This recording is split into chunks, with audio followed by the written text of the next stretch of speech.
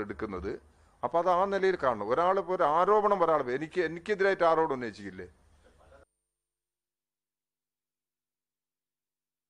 സർക്കാരിനെതിരെ വിമർശനവുമായി ശോഭ സുരേന്ദ്രൻ. സർക്കാരിനെ നിയന്ത്രിക്കുന്നത് ആരാണെന്നറിയാൻ പൊതുജനങ്ങൾക്ക് ആഗ്രഹമുണ്ടെന്നും നിയന്ത്രണ ശക്തികളിൽ ഒരാളെ ഒരാളല്ലേ പി വി അൻവർ എന്നും ശോഭ സുരേന്ദ്രൻ ചോദിച്ചു. A D G P Ajith Kumar ശിവശങ്കറിനെ പോലെയാണെന്നും മാപ്പ് അർഹിക്കുന്നില്ലെന്നും ശോഭ സുരേന്ദ്രൻ പറഞ്ഞു. മുഖ്യമന്ത്രി മാഫിയയല്ലെങ്കിൽ അന്വേഷണം സി ബി ഐയെ ഏൽപ്പിക്കണമെന്നും ശോഭ സുരേന്ദ്രൻ ആവശ്യപ്പെട്ടു. ഈ ഗവൺമെന്റിനെ നിയന്ത്രിക്കുന്നത് ആരാണ് എന്നറിയാൻ കേരളത്തിലെ സമൂഹത്തിന് ആഗ്രഹമുണ്ട്. ഈ നിയന്ത്രണ ശക്തികളിൽ ഒരാളല്ലേ മിസ്റ്റർ പി വി അൻവർ?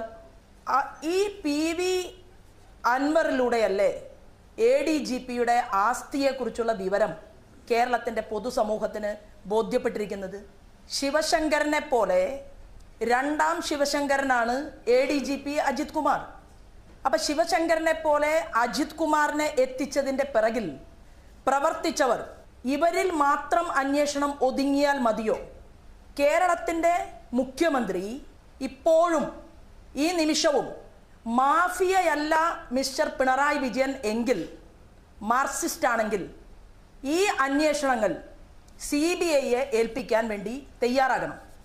ഇത്രയും നെറികേടുകൾ കേരളത്തിൽ നടന്നിട്ടും സി പി ഐയുടെ ബിനോയ് വിശ്വം മൗനം പാലിക്കുകയാണ്.